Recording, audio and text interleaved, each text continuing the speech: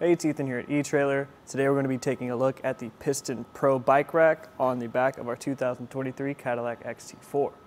It is a premium bike rack. It's capable of supporting two bikes held primarily by the dual wheel mounts, up to 67 pounds each. So it can work with plenty of different bike types up to and including your e-bikes. It's nice that there's no frame contact being made. So in the event that you wanted to transport some carbon frame bikes, you could do that as well and the actual wheel hoops themselves do adjust to accommodate different tire sizes. So any alternative frames or kid style bikes or anything like that would work as well. This rack also offers the ability to tilt away with the bikes loaded. So if you pull this lever here at the front, you could tilt the whole bike rack down. I will say, because I don't want to hold the bike while I'm doing it, it makes it a little bit difficult to actually ease the rack down. And if you have a bike loaded up on the bottom, I could see that being a little bit difficult as well. That being said, once it's tilted, gives us plenty of room to open the hatch and even more room back here to sit down, change our shoes if we needed to, or get into the back and get any items we might need for our ride. To get the bikes unloaded is straightforward. Just holding onto the bike itself, push these releases down at the bottom, which will give you enough room to get your bike up and out. As we fold these down, you can hear the ratcheting system that is in place, so it'll secure your tires pretty much anywhere it's going to stop. And you just release again using that button.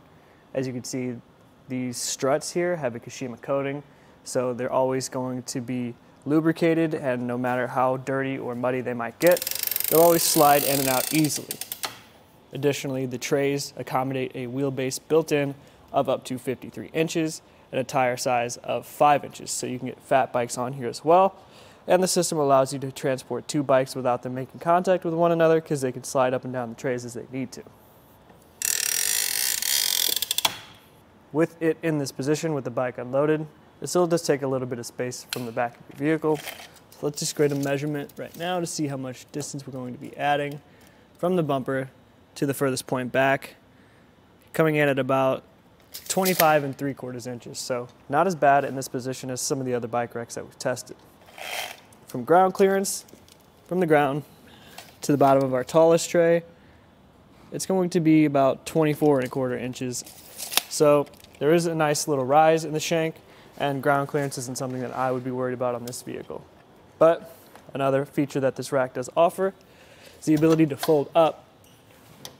I will say in this position, it does get pretty close to the back of our car here.